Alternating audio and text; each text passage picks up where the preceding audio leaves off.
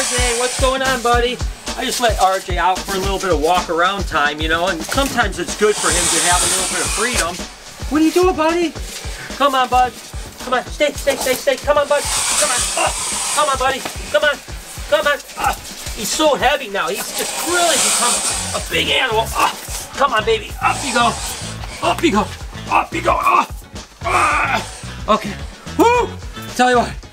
Gonna put him back in his pond so I can get to work down here because uh, you're in my way, my man. I tell you what, I love this alligator so much. You're so good, boy. Come on, baby. Let's go. Back in your pond, baby boy. Oh, up you go. Woo! Tell you what, pet alligator is awesome, but he is definitely getting big. And what I mean about getting back to work is actually this. Woo! This beautiful girl here, of course, my GHI Mojave that has a clutch of eggs right now. I've been waiting for this girl. I am super pumped, and she was bred to a super cool male. And that male is this banana GHI. Now, the GHI Mojave is actually an allelic animal, meaning that everything in the clutch is either gonna be GHI or Mojave, meaning that if it's GHI, there will actually be a super GHI banana, and if it's Mojave, it will be a Mojave GHI, potentially banana. So I can get all kinds of combinations in here. The ones I really want is the banana super GHI and the banana GHI Mojave. Mama looks like she's pretty upset. Let's go ahead and get those eggs. But first, we have to set up an egg box.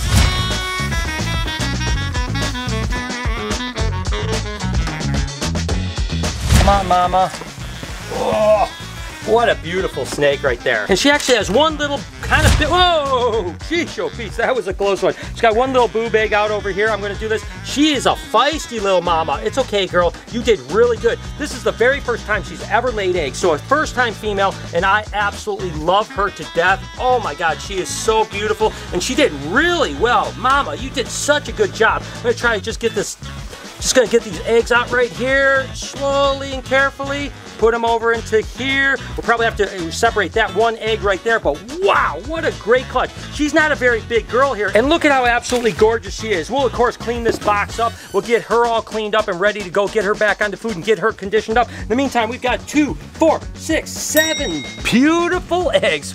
Ooh, doggy. Welcome to the vlog, Reptile Army. I hope the start of your day is amazing. So someone actually sent us an Argentine black and white Tegu that's a little bit smaller, obviously, and has some time. It's a little bit feisty right now, I'm not gonna lie, but it starts to calm down the more you handle it for sure. First getting it out can be a little bit of a chore, but of course Taz was amazing, and we got him when he was about a year old. This is probably only about six months old, and again, Taz was a blue Tegu, this is actually a black and white Tegu, so we're hoping that this one will chill out a bunch, and I actually want to probably get a red Tegu as well, so I think getting a couple Tegus would be great, not only for the Reptarium, but also for educational shows, but uh, this guy is absolutely cool. He does need a name, by the way, so write down in the comments, let me know what you think this guy should be named because hopefully he's going to be a really cool animal ambassador for a long time to come. Remember the other day when I found this in RJ's pond? I'm going to go show Jay because he's always excited about this stuff. Jay, guess what?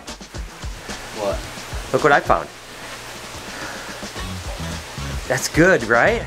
That's an RJ tooth? That's an RJ tooth. oh my god. Isn't that cool? No, that's actually scary. That's scary. Oh my god. That's a good one though, right? That's crazy. I know. We got reptileteeth.com coming your way. I gotta keep this one though. It won't be on the website. Sorry. Oh, God. I thought that was going to be the first one. Uh, let me know in the comments if you should get that one or Jay should keep it.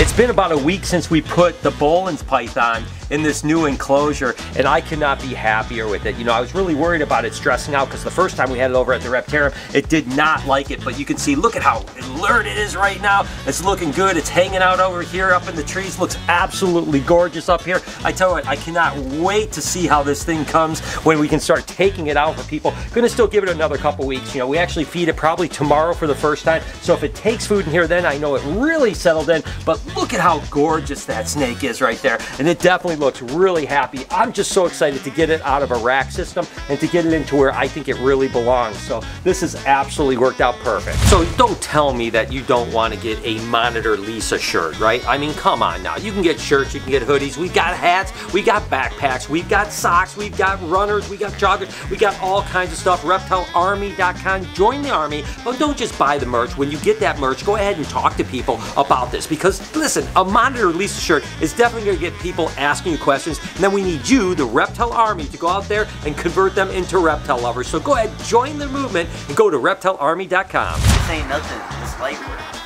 Okay, get it, get it out. I think we gotta call the big guns. A natural close relative to that Boelen's python happens to be this guy here, which of course is a jungle carpet python, and they're both kind of like a black and yellow snake. Now this animal definitely has more contrast than a Boelen's python with that dark black and that bright, bright yellow. The only difference is the Boelen python, the black is that iridescent, where this is just a little bit more of a flat black, but wow, I tell you what, this snake is absolutely gorgeous. Guys, I know this is silly, but I had to share it with you because I was pretty excited. I bought a van for the zoo to use. That's right. So that way we actually we go to birthday parties, eventually schools, outdoor events, stuff like that. We can actually bring a van. And this is the very first vehicle I've ever bought for one of my companies. I've been in business since 1989 and have never had a vehicle for one of my companies. So we bought this van. We're going to get it wrapped with Reptarium stuff here in the next week, week and a half. It's going to look absolutely dope. So I just had to share it. Kind of, it's cool. The first ever vehicle I've ever bought for a company. Jay, the entertainer, is super excited because now he doesn't have to take Lori's car to the zoo to use. And it'll look just so much more professional. And then this is wrapped, it'll be like a, a, a driving advertisement for the Reptarium. So I am just absolutely stoked. It is absolutely crazy how big Chopsticks, the two-headed turtle, is doing. Of course, they're red-eared sliders, and they are amazing. Again, I got them. They were actually pretty well started, but holy cow, every time I look at them, it looks like they get bigger and bigger. That's the thing about the two-headed animals like Ben and Jerry, of course, Chopsticks, is that once they get started and get going, they do just as good as a normal animal. I mean, these guys are absolutely incredible. How cool is that? I definitely would like to get some more two-headed turtles, but I love Chopsticks. Lori, you know how I'm excited about getting the van wrapped? I've got an idea, okay? So what if both of the sides just have like me, a picture of me with a smile on my face, and then Reptarium underneath it? Sounds about right.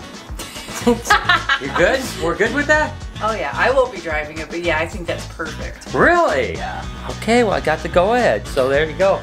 I'm gonna get, get a picture. I'll have Jay You know- take a picture. You know what else we have that we kept just for this too? Oh, we got the sloth. Yes, yeah, the sloth. in the Oh one my window, god, that is awesome.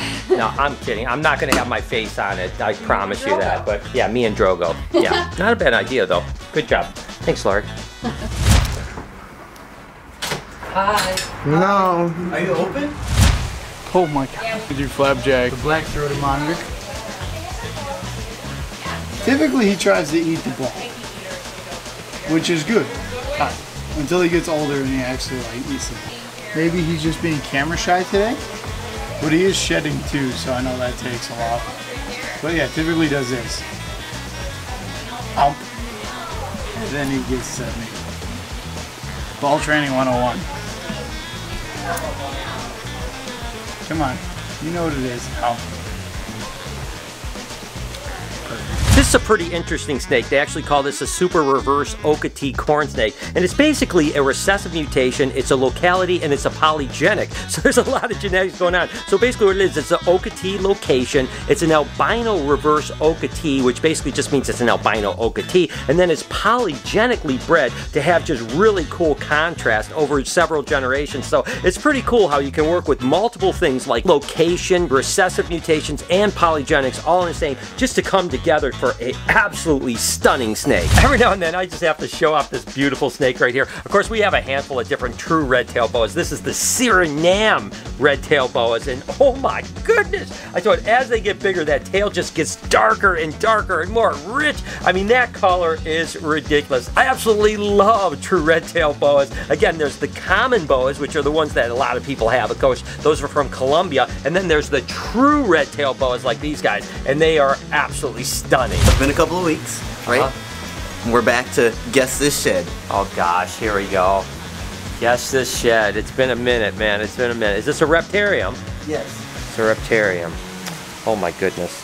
Okay, very small scales. No, stop trying to look at the other stuff. I'm gonna say green tree python. Gosh darn it. Was that right? Yeah. Okay. It's even fun. Keep winning. Just a little update on Penelope, the hypo Burmese python. She is doing so good. I mean, it's amazing. You guys know we have Jeffrey, which is the hypo granite Burmese python, but this is just a hypo Burmese. Just one mutation. It's an incomplete dominant. If you breed two of these together, you get a white snake like Marshmallow, the solid white Burmese python. But I tell you what, I love this mutation. And as it gets bigger, it gets like kind of more blown out and kind of more yellowy looking.